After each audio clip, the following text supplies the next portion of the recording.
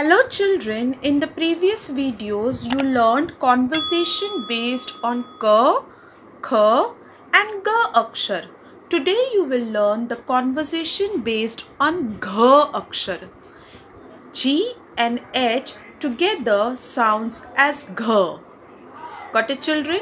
G and H together sounds as gha.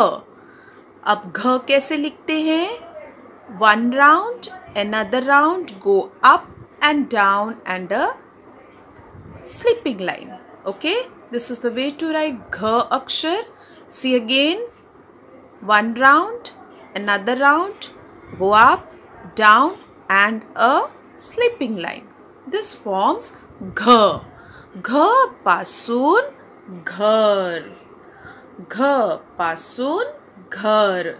Ghar means house Ghar means house. Now here there's a beautiful poem. I will read the poem first for you. मोठे घर की लहान घर सुंदर घर की साधे घर घराची शोभा काहीच नाही घराची शोभा फक्त आई Now here मोठे means big. Lahan means small. So this is big and this is small. Mote opposite lahan. Sundar means beautiful. Sadhe means simple. Sundar beautiful. Sadhe simple. Shobha means beauty. And here I. I means mother. Here, what do you understand through the poem, children? Whether it is a big house or a small house, beautiful house or a simple house.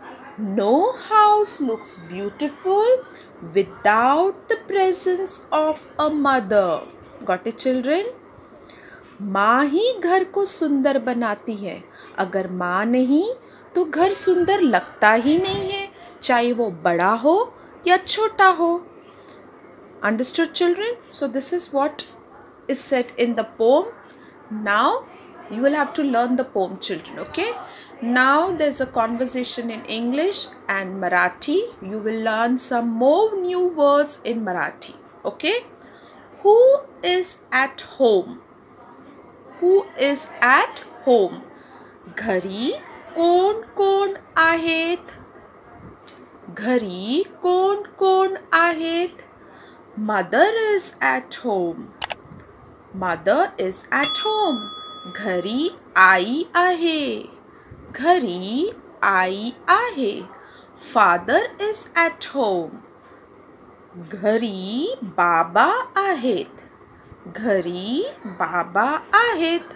Brother is at home. घरी भाऊ आहे. Brother means भाऊ. सो घरी भाऊ आहे sister is at home sister means बहीण सो घरी बहीण आहे घरी बहीण आहे got it children now below children you will be writing the alphabet G on the dotted lines. They have shown how you to turn the alphabet. So do in the similar manner on the dotted lines and then you will write on your own below. Got it children? Now let's do lesson number 9 the conversation based on cha akshar. Now here C and H together sound as cha.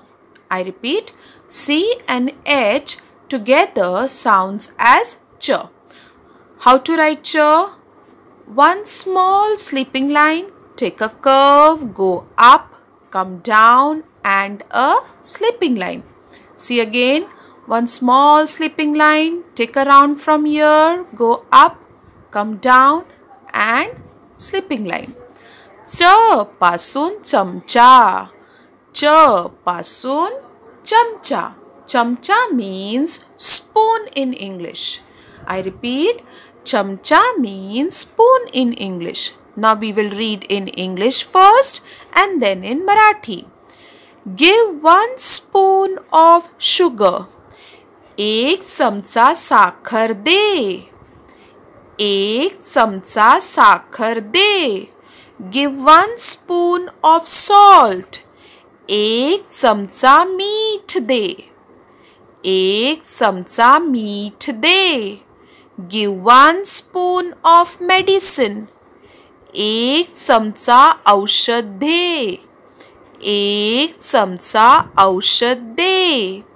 Give one spoon of milk एक चमचा दूध दे। एक चमचा दूध दे। Give one spoon of water एक चमचा पाणी दे। एक चमचा पाणी दे। Give one spoon of oil एक चमचा तेल दे एक चमचा तेल दे So which are the materials which you read in Marathi here? Sakhar, meat, औषध, दूध, pani and tel. Got it children? Now below you have to trace and write cha akshar. Okay? They have shown how to trace and write as I told you children a small sleeping line then a curve. Can you see the curve here? Then going up and down okay? So trace properly.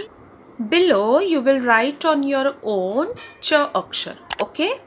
That's all for today class. Thank you. Bye